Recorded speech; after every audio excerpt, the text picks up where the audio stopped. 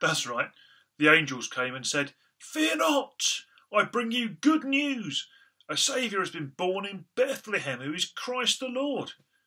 Now, who knows what Christ means? Well, very well done. It means anointed king.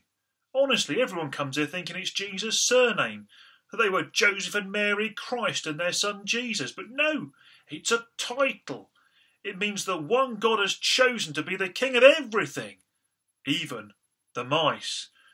Well, they lived in that little room for ages, days and weeks and months. Joseph made things from wood and Mary nurtured the baby. Then one day they had more visitors. We can learn about them in our next carol, We Three Kings.